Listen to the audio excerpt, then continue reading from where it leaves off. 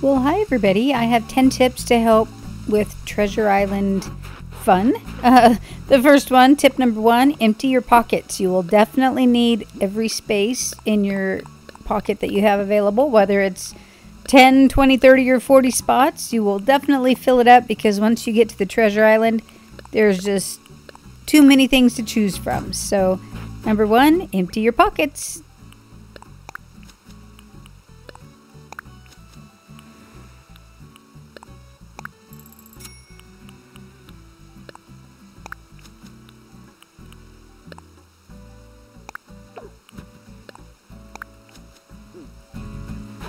Okay, let's head to the airport and get this party started. That was weird. That sounded weird, but we'll just get started with the treasure islands. That, that sounded better. So, first off, be prepared to wait because some of the islands are really busy, really popular, and you'll have a long wait sometimes getting on, waiting your turn. Definitely worth it but be prepared to wait. Uh, a lot of people coming and going, so sometimes it takes a few tries. But uh, yeah, just be prepared to go get a cup of coffee, get your Kindle out. Sometimes it can be quite a wait depending on how popular the island is. You can subscribe to islands and pay for islands to have a more private experience, but I go onto Twitch and I do the free treasure islands. So you just have to wait a little bit and it's totally worth it. These dodo codes are all expired, by the way, so... There are a lot of free ones to choose from, and, um, yeah, all different types. Some with all clothes, some with cottage core, some with holidays. They're all different. So you'll figure out when you find uh, the page that you like, which ones have, you know, what you're looking for. Okay, most of them you can kind of see a little live feed to see how many are on there. They do a max of seven per island at any one time. So you can see if there's one, two, or five or seven people on there coming or going. So you'll have some idea if you're going to be able to get on or not. And let's see how we're going to do with this first try. Yeah, so this means someone else is coming or going, so we just wait. And hmm, he'll try as many times as you want him to keep trying.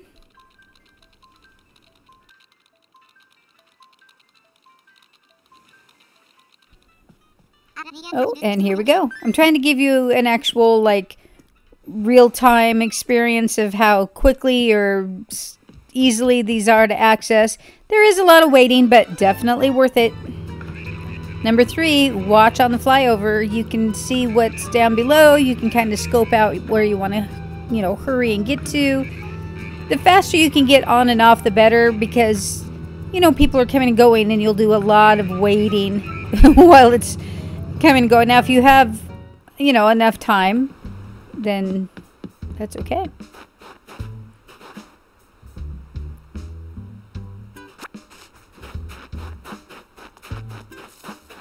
All right, tip number four turnips. If you pick up the turnips on their island and sell them at Timmy and Tommy's right there, you will have a billion bells put into your bank. So you will never have to grind away for bells if you're only interested in decorating your island. Pick up turnips and sell them. Of course, they don't buy them on Sundays, but that's definitely the way to go. Number five, have a lot of patience. Here's someone leaving. I'm going to kind of zip through this a little bit, but a lot of coming and going. You have to have patience. They had to wait for you, so you just have to wait for them. Again, it's it's well worth it. Okay, and we just wait and wait. okay, and then here we go. We try to zip through to number six, move fast. If you have a lot of time, it doesn't matter. And if you have a lot of patience, take your time, but you know, you're just going to do a lot of waiting if you're on there for too long. So move as quickly as possible. There's no time limit. You could spend as long as you want on some of these islands. And unless you know the island, it may take a while to see everything that's available. So take your time, but uh, just depends how much time you want to put into into the waiting. Sometimes my pocket gets full before I get into a quarter of the island because there's some favorite things that I just always want to grab and then I end up sometimes coming back two or three or four times to the same island. I think that's, you know, you want to get a big inventory if you're doing a lot of uh, decorations and you have a, a vision. So, yeah.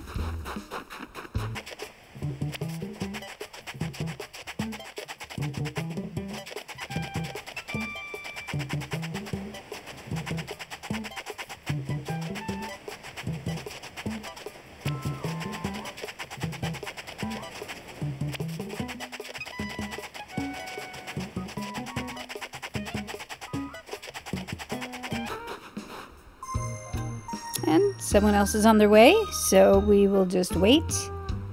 Try and speed through some of these parts so you don't have to watch me actually just walk around and pick stuff up.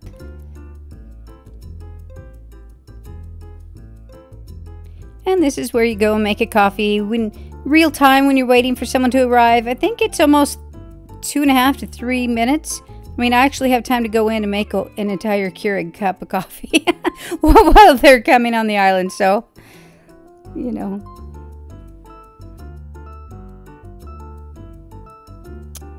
Okay, sometimes it takes a little longer than other times. I don't know exactly how the whole process works, but we'll just stand here and watch who comes in from Neverland. Number seven, always leave through the airport. This is very important. Do not use the minus key. Sometimes people get aggravated with too many people coming and going, and they just hit that minus key to quietly leave. What that does is it shuts down communication to the entire island, and everyone on there gets booted off. And everything in your pocket that you've gotten picked up, you lose because now you are zipped back to your own island and you've lost all your stuff. So do not use the minus button. And here's somebody else on their way here. So we just wait again. But yes, it's very important to leave through the airport. I know it can get aggravating when people are coming and going and coming and going on a very popular island, but it can be, you know, really upsetting when you take all your time, you finally get the things you want, and then you lose them. So come and go through the airport. That's like the number one thing that they ask of you to do. Okay, so we're just waiting for Kennedy from Honey Isle.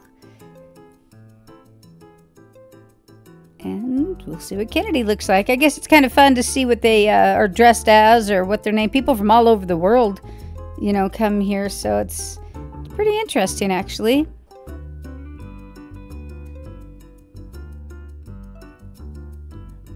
Okay, and like I said, you just go make another cup of coffee, cup of tea, whatever you like. Plan what you're going to do with all the decorations you have in your pocket. You quickly learn which islands are more popular, which ones don't have as many people. Depends on the time of day, the day of the week, you know. So there's a lot of, a lot of vari variations, variants in uh, the same island from day to day, hour to hour. And that's what happens right there when someone leaves by using the minus button and not through the airport. So this is what happens. It kicks us back to our airport. And we'll go empty out what was saved. It saved a few of our items. So that's that's what happens when you hit the minus button. So it can be a little bit upsetting when you uh, someone does that, but on to the next one. Here we go. Let's try again. All part of the game.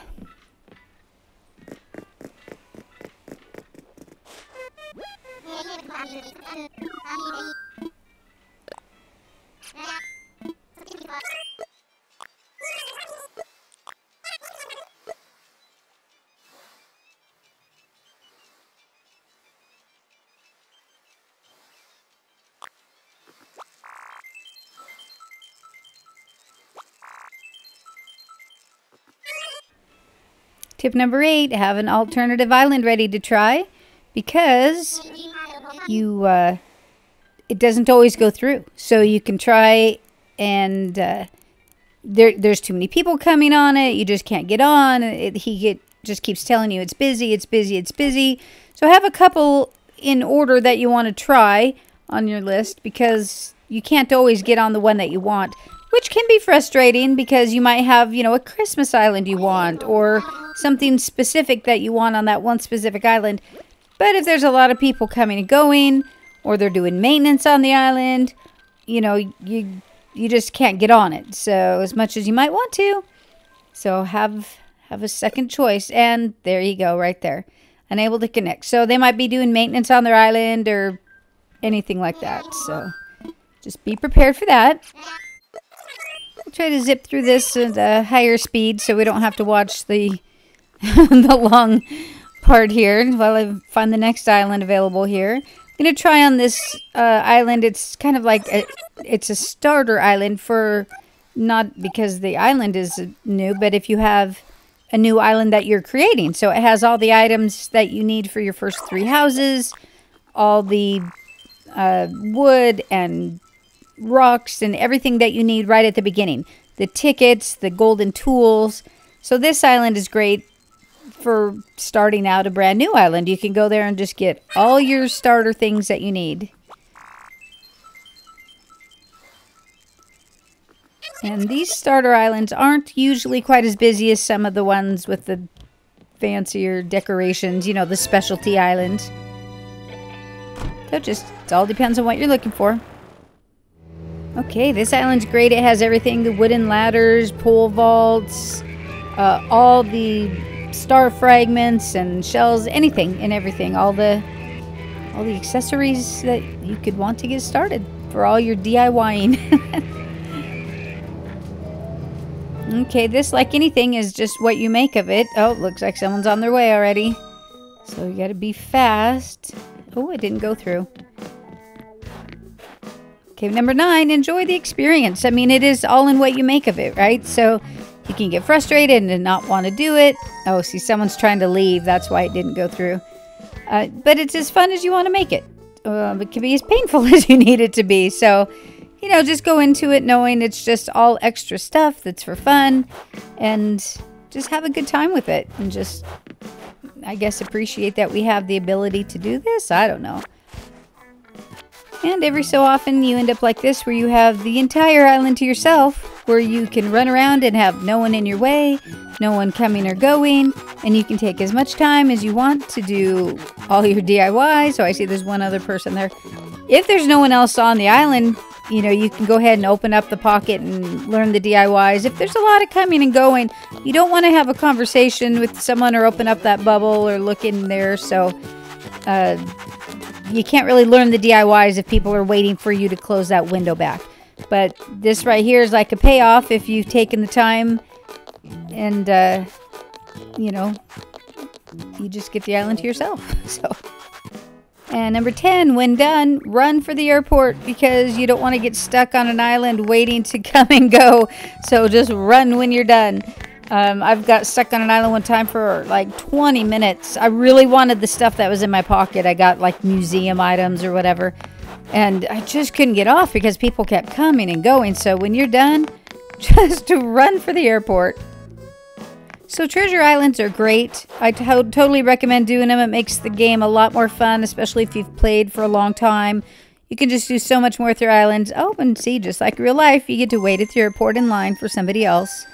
But it's it's worth your time, and you can do a lot more decorating and just a lot more a lot more fun, I guess, playing if you have all the decorations. You don't have to grind away for those miles and those bells, and so might be a little bit of waiting and I totally, uh, totally encourage you to give it a try. It's free, doesn't cost anything, so give it a shot. So that's my 10 tips, and I hope that helps. And have a fun time and give those treasure islands a try. See you guys later. Bye bye.